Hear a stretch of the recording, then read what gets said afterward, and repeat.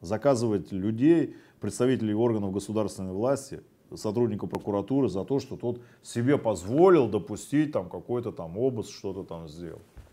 То есть, ну ты кто такой? Ты, ты избранный э, народом э, человек, который обязан э, исполнять свои обязанности честно и уйти в историю как нормальный, сделающий для народа столько-то. А он сидит, развалился, там пузо, видали какое?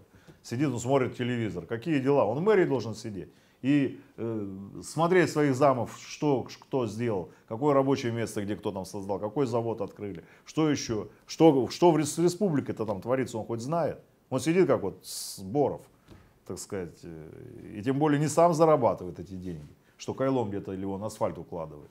А просто что же не воровать -то? Вот бюджет пришел, транш пришел из Минфина, ну все это мое, а, республика, да, пошла она. А потом республики, в республике пацаны, значит, э, кто злой, хватает автомат и пошли эту власть дуплить. Ну, ну вот, вот она, исходная это э, проблема в Дагестане. Поэтому молодцы, что так они сделали. Но это сигнал э, элитам, как говорится, если не одумаются, то мы можем применять, и, и государство, и Российская Федерация имеет право применить против любого чиновника на любой территории, значит, адекватные меры, которые сопряжены с пресечением его, э, в данном случае, и бандитской деятельностью.